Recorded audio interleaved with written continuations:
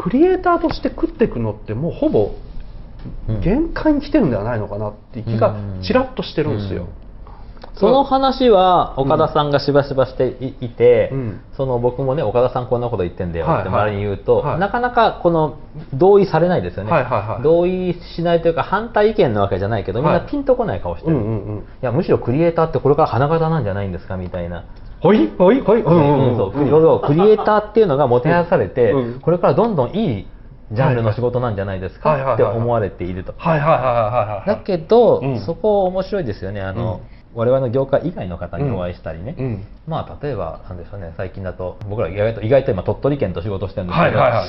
クリエイターがすごい華やかだと思ってるんですよ。あそういうその業界の外の人はね。ううんんうんうん。っていうことは、うんっていうのは昔はね僕らほらクリエイターになるなんて言ったら、うんそんなヤクザなことはうん。もうちゃん頼むからちゃんと就職してくれと泣かれたわけですよ、上にんでも逆に言うと今そのクリエイターの株が上がってるわけですよね。うんはいはいはいはい。ということは実はクリエイターっていうものが一般化しているので、うんある意味誰でもなれるんやと。うんうんうん。ある意味誰でもなれる。あうん門戸が開いちゃってる、はいはいはいということはそのさっき岡田さん言った話なんだけどライバルがめっちゃ多いわけですよ、はいはいは確かに仕事が劇的に増えているわけでもうん。ないので、うん。でもクリエイターになろうっていう人あと親もクリエイターになってもいいよというい。時代になってる、はいはいはいはい。そうするとクリエイター目指してる人数が多いから、はい。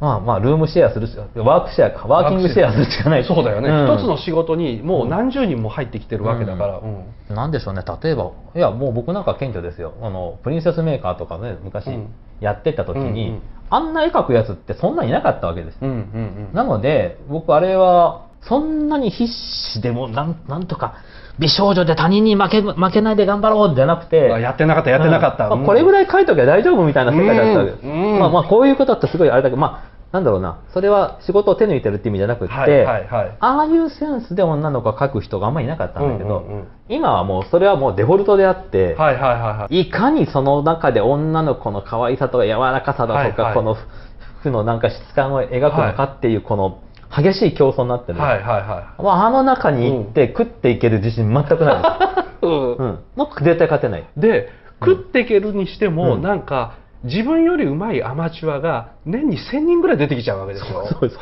そうでそいつらがまた無料でピクシブとかにえどんどんどんどん上げてるわけでしょ、うんうん食えるわけねえよ。落ち着いて考えろよと、うん。ただね、うん。逆に作品作りに参加したり、自分の作品を世に出すことは、うん。昔よりははるかに簡単になっているのだって僕らがもとももとそのガイナックス作った時って何かっていうと、大根オープニングアニメみたいに自分たちでアニメ作ってそれを人に見せる方法は、うん。テレビ放送か映画館で放映しかなかったから、仕方なくプロになったというところもかなりあるわけじゃないですか。会社にで会社にしないと、あのそういうところが相手にしてくれない。バンダイが契約してくれなかったっていうのが。契約する相手が法人でないとダメですみたいな、でなんで契約しなきゃいけなかったのかというと、アニメ作るのに1億以上かかっちゃうからというのがあるんだけど、でも今みたいにアニメ作るのが本当にデスクトップでできちゃって、うん。友達と5人ぐらいで2年かけてできたんだったら、うん。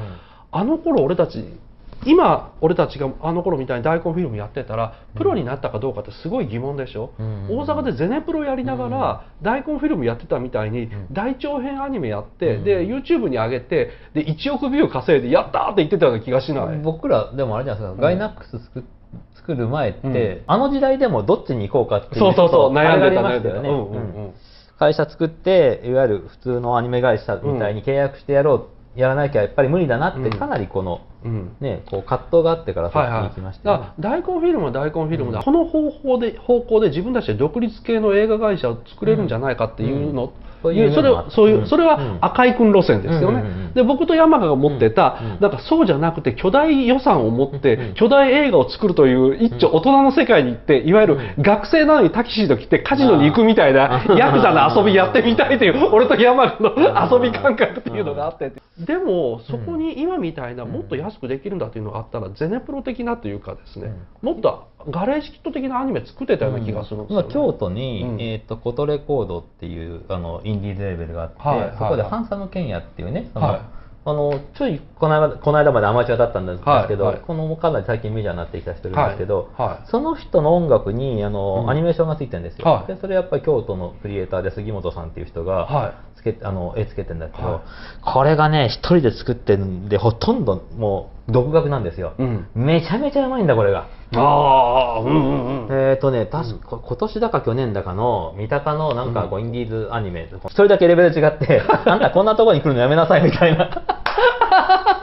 えこれね、あの、あの、ハンサムケンヤこれぐらいで歌うっていうのを検索したら、うんうんうんあの YouTube 出てきますけど、はいはいはいすんごいですよ。まあでも、それぐらいの人が個人でうん。やれるわけですよ。例えばうん。個人でやってる有名だったフロッグマンさんなんかそうだけど、あの人のアニメはいかにも個人がやりましたってはい。感じじゃないですか。はいはいはいはい。でもね、あの杉本さんかな？っていう人は、うん。このあパッと見た感じではとても一人でやったとは思えない、うん。ガンガン動いてるし、うん。で、そういうのが一人で作れる時代で、うん。なんだろうなアニメが好きだからっていう善良な若者が、えー専門学校入るかって言って入って、うん。でアニメ業界の中に割り込んできて就職できないんですよとかって言ってるのを見てたら、うん。なんかねみんなボタンの掛け違いっていうか、うん。作りたいんだったら作ればいいし、食いたいんだったらもっと食えそうな仕事すりゃいいし、うん。どっちだよお前と、アニメ作りたいんだったら普通に作ればいいよとか、ででそのアニメ作りたいと食いたいというのを無理やり合体させるのやめちゃえとか、うん。思っちゃうんですよね。あとその年取ってからでも作れると思うんですよ。なんでしょうね。新卒でもアニメ会社に入んなきゃアニメ作れないみたいなイメージがあると思うんですけど、うん。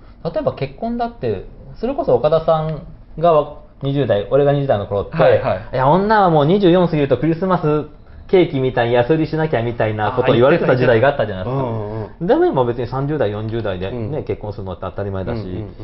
でその中で必ずねこの子供作んなきゃいけないってわけでもないみたいな時代に、うん。なぜ就職がそうなのかみたいな、そうまあまあ就職はお金の問題があるけどアニメを作ることに関しては、うん。うん、なんか例えばいろいろ貯金をしてね稼げる仕事になんとかついたりバイトしたりしてうん気の合う仲間とアニメ作ってもいいんじゃねえのかな、うん。なんかこの就職しなしたいなとかしなきゃしたいなだったともかく、しなきゃいけないなっていうのはねすごい苦しめてる。だからそのうん。大沢芸大とかでさ200 200万とか150万払うのはどうなんだろうとか俺自分で先生しながら思うもんね、結局この高い学費取ることがこの子らにうん不要な罪悪感を与えてしまって、うんもう600万のキャンプに行って遊んだと思って、うん。あとはこれをもうもらったんだからこんなことしなきゃじゃなくてあとは真面目に普通に働けばいいだけなのになとか思っちゃうんですよね。まあ答えが出ないというか,、出ないというかうん。そのって人にもよるじゃないですか、うんうん。うん。ちょっと待ってねメールどんなの来てるんだろう、どうぞ。はいメール。質問来てるんですね。はい、ありがとうございます。あともう一つ。はい。お二人に、えー質問です。これ家庭の話ですね。はい。もし今、えー新卒生、えー24歳ぐらいの新卒生だったら、お二人は何をしていますか、えー例えば正社員になるために普通の企業に入る。えーもしくは、えーアニメーターになっていますか？もしくはアニメ制作会社を立てていますか？それとも他のことをしていますか？えーとね、まずアニメ会社に入らないですよね、うん。こんなに儲からないと言われてる業界に今から一番下に入っていいことが何もない、それよりは何か僕がしたいと思ってるからには僕の周りには才能がある人がいるはずなんですよ。でなかったら僕はそんなことしたいと思うはずがないから。その何か多分ねみんなね自分だけで考えてるんですよ。自分が何かしたいからやるべきだじゃなくて人間にはその才能の才っていうのと同時に時とか人とか状況があるじゃないですか。で状況のカードがどれぐらい揃ってるのかで友達で一緒にそんなこと好きだなって言ってくれる人が何人いるのかによって違うから俺もし24歳ぐらいで新卒で周りがなんだろう食べるものを好きなやつばっかりだったらどんなにアニメが好きでもどんなにゲーム好きでもどんなに特撮が好きでも絶対にレストランやってます。それは周りに食い物が好きなやつがいるからどれどんなカードを持ってるかですよ。で食い物屋やってたらその中でアニメレストランとか特撮レストランっていうのをやっておきながら徐々に徐々に自分の好きなアニメとか特撮の部分を増やすだけで手持ちのカードで仲間が何してるのかが一番優先。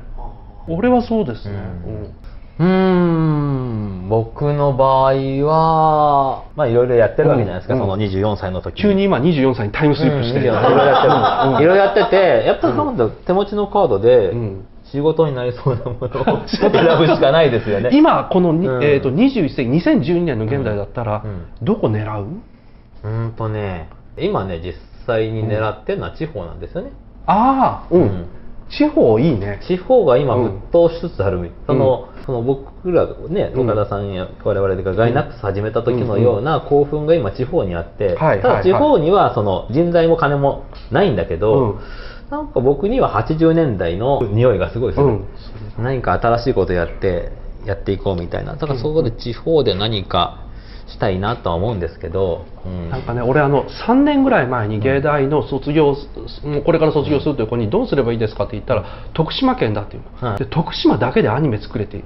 言ったの、うん。あのその女の子に、うんでどういうことですかって言ったらもう監督も脚本も声優も全部徳島でいいじゃないか、うん。で徳島を舞台にしてあアニメで、徳島以外で見れませんってアニメもう今から作った方がいいよってでなんでですかって、お前徳島帰ったら食えるだろうと食えますと、うんお前の友達も徳島行ったらいるだろうっていますと、でアニメ好きなやつら高校の時の満研とかでいるだろういますと、もうそいつだとアニメ作ればいいじゃないとかでレベルとかそうプロのレベル考えるから東京に行って、今のアニメに負けないアニメとか同じようなアニメって考えちゃうんだけども、徳島に帰って友達と一緒に作れるアニメで、徳島の人間しか使わなかったら絶対に徳島さんってことで面白くなってくるからそれ続けてろよとかって言ったんですけどやっぱその子も結局東京来ちゃって、ん。やっぱりもう偶然なんですけど、本当に3ヶ月で辞めてしまって。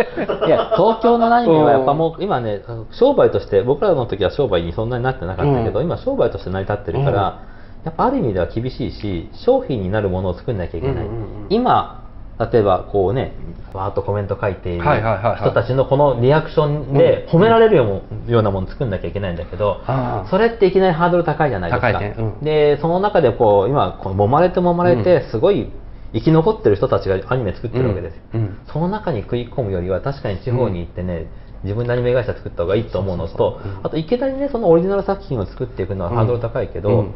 例えば今日本のアニメって今っていうか昔からですけど、そのすごい量外国出してるわけです、外国出してるのは例えば外国人件費安いから出してるんじゃなくって、うん。うんアニメーターの数が足りないから日本と同じギャラ払ってるわけです、はいはいはいはでそうすると海外のアニメーターってお金持ちなんですよ、いはいはいはいはいぱり円との、ねうん。パワーの違いで、うんうん。でただ東京からその仕事を海外出してる会社にすれば、これで日本語通じたらなとか思うわけいそうですよね。そういう意味で言うと地方でね。海外に外注するよりちょっと安く仕事を受ければいいんだ。いやちょっと安くじゃなくていいんです、はい。同じ金額でいいんですよ、はいはいはいはい。ただポイントは東京よりいい、圧倒的にそのアニメーターの若い子が住むアパート代が安いんです。はいはいはいはい。だって新人の1年生、2年生3年生ぐらいのポイントって、うん。アパート代が3万安いってすごくないですか？手取りが自動的に3万増えるわけです、うん。いやあと全員自宅住まいのアニメーターとかね。全然自宅住まいもできるし、それをねその、うん。うん。もう今例えばうちなんかでも、うん。あの打ち合わせとかみんなスカイプでやってるわけですよ、あそうなんだ、うん。こう集めらないと、こうなんかこっちこの人大阪この人今うん。鳥取にいて、この人はなんか今、うん。あ北海道いますみたいな。絵を見せながらというのはどうやってんの？えっ、とねまだアニメではやってないです。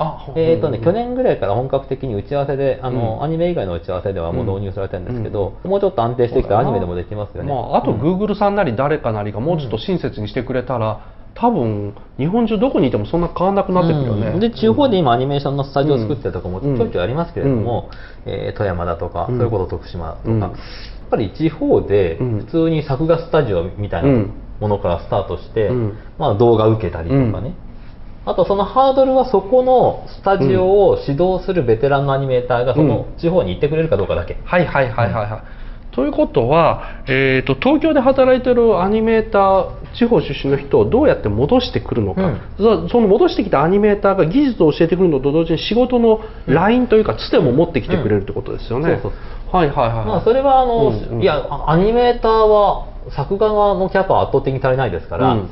ある程度技術のあるスタジオだって分かれば、うん。すぐ仕事が来ます。確かに。それは間違いない。うんうん。でなんですかね。同じ日本国内だからうんコミュニケーション取りやすい、うんで生活は東京よりも絶対楽、うん。って思うと地方にアニメスタジオを作らない理由が今のところないんです、うんうんなのでいろんな地方地方でアニメーターアニメスタジオを作って、その中から才能のあるねとんでもない天才が出てくれば、うん。それこそのなんだろう徳島産アニメとか、うん鹿児島産アニメみたいなのうんうん十分できてきて、そうすると日本のアニメってまだまだいけるのかなっうんうんて思います。その日本の地方の文化ってすごいレベル高いですから、うんうんただそれにまだ気づいてないです。東京の文化が一番いいと思はいってる、はつまり今のそのクリエイターが食っていけない状況っていうのは、これまでと同じように東京に出てきて中央で戦って、うん。そして世界に通用するような、うん。ニコ生を見ていて厳しいコメントを書くような、うん。マニアックなユーザーに対するものを作ろうとしてるから厳しいのであって、うん。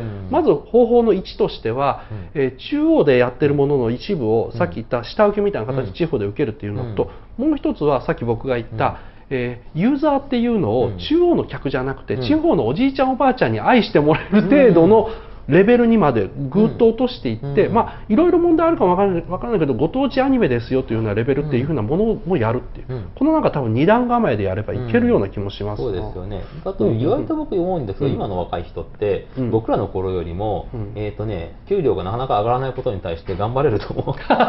いやいや、好きなこと、納得できてる、できてればですよ。で、その中で成功を目指して、うんあの、なんだろうな、サクセスを目指すとすれば、うんうん。地方でやっていく方が、うん。敵が少ないという意味ではチャンスがある。ああそうだよね、うん。あと地方、うん。なんだろうな他にやることがあまりないからスタッフが離散しないっていうのがあるよね。俺らの大阪でうまくいったのって、大阪って中途半端に田舎だからスタッフが逃げにくかったっていうのがあるよね、いや、そう、そういう意味で言うとね、うん。大阪の才能のあるやつ独り占めみたいなとこあったじゃないですか、うんうんうんうん。大阪にいる。それはあった、うん。大阪では食えなかったわけですから、うんうんうん。みんな。ちょっとゼネプロで、うん。ゼネプロっていうあの、岡田さんが拠点を作ったうん。おかげで、うん。ちょっとしたイラストやカットの仕事があって、うん。そしたらね、その中から園田健一が出てきたりとかね、あるわけだですよね。そういうふうな意味では各都道府県ごとにああいうところが1箇所ずつあれば多分そこに集まらざるを得ないよね、うん。だって昔アニメポリスペロみたいな アニメショップに無用に才能のあるやつが集まってそこのなんかこう寄せ書きとノートが下手な商業主義で絵が上手くなってるっていう状況あがあったじゃん。あります、あります。だ から東京はね、東京は過密になってるので、うん。少々の才能だと通用しないところがある。言えるな、うん。じゃあお前はこうお前はどの程度の力を持っているのだみたいないきなり挑戦されるわけですけど、うん。うん地方はそこまで敵がいないので、うん一つの、もうこれも完全に戦略の話ですけど、うんうん。ね、天才軍師とか書かれて あの大きな勝負じゃなくて、まず勝つことが大事っていう。はいはいはいはい。これあのお僕が言ってるんじゃなくて、あのはい。あの大昔の孫ちゃんが言ってるんです。孫ちゃんがね孫子の兵法孫子さんが言ってるんですけど、はいはいはい戦争ってい。うの戦いっていうのは、勝つを尊ぶと、はい。それは大きいこととか長引くことは尊ばない、はいはいはいってことは例えば、まあ、一つの方法として地方でうん。小さいアニメを作って、そこでこの人すごいって言わせると、うんうんうん。そうするとそこからじゃあもしかしたら変な話東京から仕事が来るかもしれないし、うんうんうん。海外から仕事が来るかもしれないし、うんうんうん。えー東京ではお前のことを誰も知らないが世界中が知っているという人になれるかもしれない、はいはいはいはそれはかっこいいしそれからロマンがあるなみたいな、うん。そういう意味では僕その今24歳になったらっていう、はい。というか今24戻りました歳の人がはい。はい。羨ましいですよね、おおまず可能性が、僕らはこのルートを通ってここに至まってるけど、ずその、うん。テレビ放送と劇場っていうところしかなかったから僕らは東京に来るしかなかったけど、うん。実はあの時大阪出たくなかったってみんな言ってたもんな、うん山がぐらいだよね東京行きたがって。あいつほらあの新潟だから、うん。関東の人間じゃんもともとだから山がだけが、ん。あの東京行きたかったんだけど僕は大阪出身だしで赤井君は鳥取だから、うん。だし安野は山口だから、うん。どちらかっていうと東日本にあんまり行きたいっていう強い欲望なかったもんね、ただやっぱ仕事をしようと思ったあの当時は大阪にいたら全く全てのものが情報から送れる、うん。うんまあ、情報が送れるってのは大きかったんですよね、うん。今何が流行ってんのかとか、はいはいはい。今どんなことがすごいのかっていうのが大阪だと一月絶対送れるっていうイメージが、なんか石黒さんとかさ川森君にさしょっちゅう会えるという理由でうん。東京に行くっていうのがあったんだけども、もう今そんなもん別にネットあったら行く理由ないもんな、じゃあちょっとまとめになるんですけども、クリエイターと仕事っていうかあの今日クリエイターをこれから食っていくっていうのは無理なんじゃないっていうのに関してはこれまで通りのいわゆる20世紀型のうん。その東京に行ってアニメとかそういう専門の会社に就職してっていうこと形に関してはどんどん難しくなっていくし、あと才能があったとしても世界中の才能が同じように競争してるからん。難しくなると。うん。でそうじゃなくてまずクリエイターという職業になるとかそれを食っていくっていうのを諦めるというのもあるんだけどもそれを諦めない方法としては地方。うんでずっと居続けるということと、で地方でその自分と同じような才能とか、うん。才能でなくてもいいんでしょうね。好きな人をまず集めてみたら、うん。才能って勝手に出てくる場合が多いから、うんかもしれないですよね、うん。そうですね、うん。うん。やっぱり同じタイプの人と一緒にいるっていうことは大きいいやかもしれないあのね全然ね才能ないやつがポコッと出ることってあんまりないんだけども、うん。ねうん。えー、と小学校からこれが好きだったっていうやつを34人合わせるといきなり変なものがごぼって出てきて、うんうんうんうんそれがお前の才能だったのかっていう変化ってよくあるから。ありますね。それの発生があるの。そういう地方っていうことと、クリエイティブだけで食っていこうなんていうことは、それがお混同だと思わないことっていうのかな、やっぱそこになりますよね、うん。だって現にガイナックスだってうん。アニメ制作で食ってたことって過去一度もないわけじゃないですか、まあ、一度もないこともないですけども、まあまあはいまあ、まあ。あるはい。いや、それ要はそのガイナックスでいくつか部門を持っていて、はいはいはい。それその都度一番羽振りのいいところが全部門を食わせてるはいうことです、ね。だからあるとある時はエヴァがこう、うん全部分を食わせて、うん。ある時はゲームがうん。全部分を食わせてみたいなもんで、その一つの会社を一つの人物として考えたら別にガイナックスだって今自分がやりたい仕事だけで食ってたんではなくて、うんっていうのと同じように漫画の才能があるとかアニメの才能があるとかゲームが好きだということでそれで食えなきゃ負けだ不幸だっていうふうに考えない方が絶対いいよね。あそれはそうだと思います、あの逆にいろんな仕事仕事例えばなんだろうな、まあ、コンビニであるとかガードマンであるとか、うん。さっき話が出たけれども、あそれあうん。赤いよあれよ赤い錦鯉センターとかね。赤い錦鯉センタ でもこれ、うん。こういうことってやっぱすごい、そうなんだろうな。このもしクリエイティブの道があるとすれば、そのストックになるわけですよね、うん。と学校例えば専門学校出てうん。東京でアニメの会社に就職してっていうアニメ関係者は、うん。まあまあ入って捨てるほどいるわけですけど、じゃあ錦鯉センターでこういうのを養殖してたうん。アニメ関係者いるのかいやそれはね 絶対役に立ちます。うん。うん、ぬるぬるする恋をこうやって掴んだ経験。経験あるの？いやありますよ。いや怖いな手伝いをしたい。や怖かったですよ、うん。うん、わかんない。例えばなんだろうな、その、ね、遠洋漁業をしたとか、うんうんうん。ずっとね、まあ、自宅警備員はいっぱいありますけども、まあみリアル警備員をやったこれ見てる人は一回うん自分の手持ちのカードチェックしてほしいよね、例えば、うん。いや俺なんて自宅ニートでっていうことは、うん。言う人がいたらそれは自宅っていうカードを持ってるわけじゃん。まだ食わしてくれる親がいるとかさ、なんかこうまだ健康な姉ちゃんがいるとかさ、うん。どんだけのカードを持ってんだよというところからやってほしいよな、うん。うんあともしかしたらそれで家事が例えば得意だとか、うんうんうん。うん出てきますよね、もしかすると。そうだよねいやだってそのアニメーターずっとやっててね、もうなんかもう30代でかなりベテランで、うん。でも飯の炊き方知らないやつっていっぱいいますよ。うんうん確かにそれは言えるでもうん。それ、それって僕は大事だと思うんです、うん。その何か他の人があんま知らないことを知ってるとかうん。やっているとか、人を感動させる一つのキーワードな、あそうなのあれなんですよ。そのクリエイティブをしたいのに、うん。他の人と同じことをしたい。他と同じでいたいっていうのがはいはいはい、うん。さっきのいいこと言うのはそうこれですよね。だそうだそうですそうです、うん。クリエイティブをしたいというのに他の人と同じような世間と同じような就職したいと思ったり、うん。なんだろう一人住まいしたいと思ったり、うん言い方悪いんだけど普通の結婚したいと思ったりっていう、なんかお前10日交換というか鋼の錬金術師を読めと。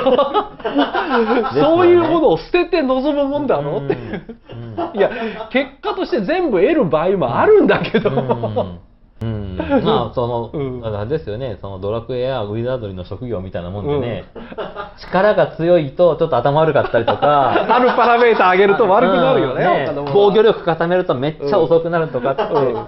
何か捨てないと。何かしてないその意味でなんかこうクリエイターになりたいのに就職っていうところでもともとこう無理があるところから、うん。ちゃんと就職してすごいクリエイターっていうのは、ほんまに天才だと思います。よ いやほんまに天才はまあ就職しないだろうしねまああそうかも。しれないそうですかね、た面白いな、うん。はい。ということで、はい。今日はですね楽しく赤井高見さんとですね、えークリエイターと仕事に関して話をさせていただきました